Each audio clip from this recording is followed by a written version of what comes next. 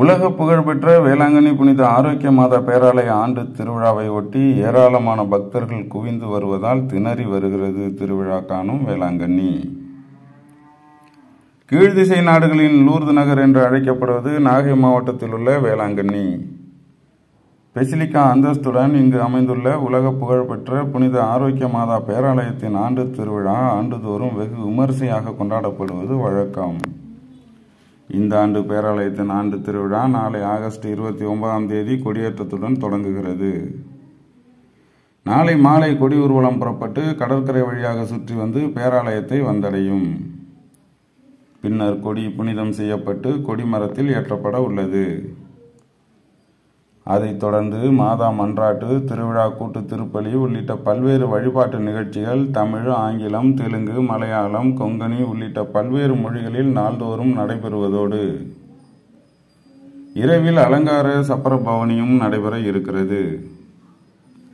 பத்து நாட்கள் நடைபெறும் திருவிழாவையொட்டி தமிழகம் மட்டுமல்லாமல் வெளி மாநிலங்கள் மற்றும் வெளிநாடுகளில் இருந்தும் ஏராளமான பக்தர்கள் வேளாங்கண்ணிக்கு வந்து குவிந்த வண்ணம் உள்ளனர். ஏராளமான பக்தர்கள் மாதா சொரூபம் தாங்கிய வாகனத்தில் மரியை வாழ்க என முழக்கமிட்டு மாதா புகழ் பாடியபடியே திண்டுக்கல் திருச்சி மதுரை விழுப்புரம் கடலூர் சென்னை உள்ளிட்ட தமிழகத்தின் பல்வேறு மாவட்டங்களில் இருந்தும் பாத யாத்திரையாக வந்த வண்ணம் உள்ளனர். பக்தர்களின் வருகை அதிகரிப்பால் வேளாங்கண்ணியில் உள்ள தங்கும் விடுதிகள் முன்பதிவு செய்யும் இடம் பேருந்து நிலையம் உணவகங்கள் கடைவீதி ஆகியன அனைத்தும் நிரம்பி வழிகிறது.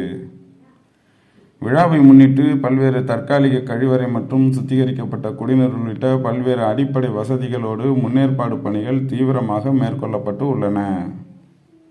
வேளாங்கண்ணியே விழா கோலம் பூண்டுள்ளது.